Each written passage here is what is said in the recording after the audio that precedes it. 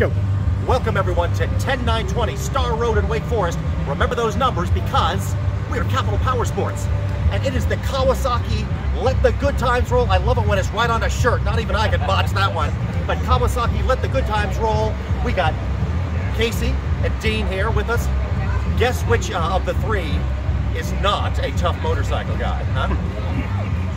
Uh, dirt, uh, grime. Uh, but anyway, the Kawasaki thing is a good thing. 14 bikes. Jump in here, you guys. 14 bikes available for demo. They're all the 2022 not models, so brand new Kawasaki. Gear and accessories too.